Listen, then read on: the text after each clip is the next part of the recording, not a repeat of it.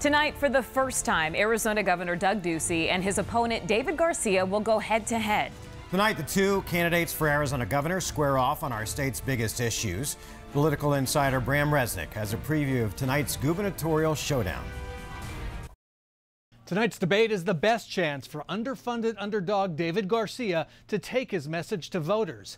The Democratic candidate has been hammered by Governor Doug Ducey and his allies as a threat to Arizona's security. Doug Ducey is using all the tools in a governor's toolbox to win a second four year term. We've seen leading tech companies flock to Arizona, and we've only just begun. Ducey claiming credit for a growing Arizona economy. David Garcia is liberal on illegal immigration. Garcia opposes tougher border security.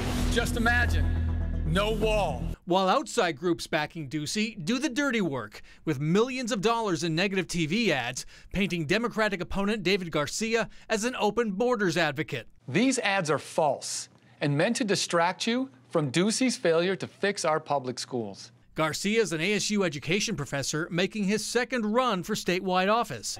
His campaign is focused on improving K 12 education. My choice is to have my daughters in public schools. It's the choice of 95% of parents. If he wins the governor's race, Garcia would be the first Latino elected statewide in 44 years. Also on the debate stage tonight, Green Party candidate Angel Torres.